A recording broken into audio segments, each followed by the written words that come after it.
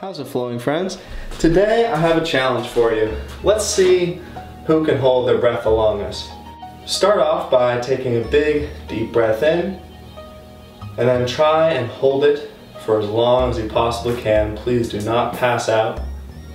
Take a breath when you feel you really need to. Starting now.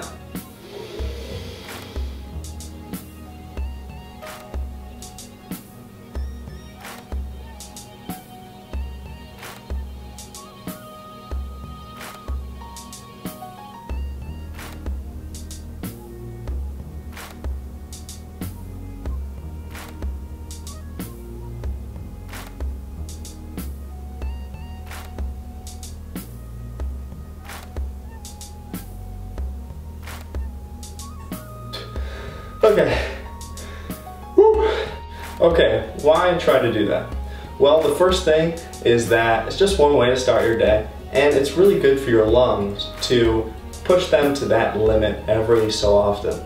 Especially if you are a performer or if you do presentations. Basically, if you have to use your voice, it's good to have strong, healthy lungs. Finally, I hope that you were able to beat me because I wasn't too impressed with my personal breathing performance this morning.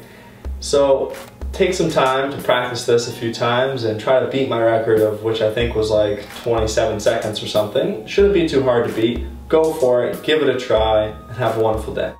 Okay, today is bound to be a day where we have the opportunity to share some of our secrets. It's easy to forget that we all have secrets.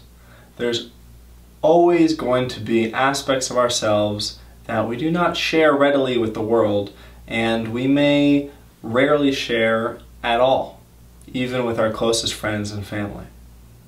Today is a chance, though, to reveal something deeper about ourselves, whether it be about our sexuality, our sense of self, our most deeply held beliefs, our vision for the future, whatever it is, and not feel afraid.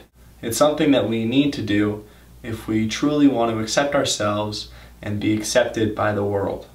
Okay, be with loving friends, eat good food, and have fun. Peace.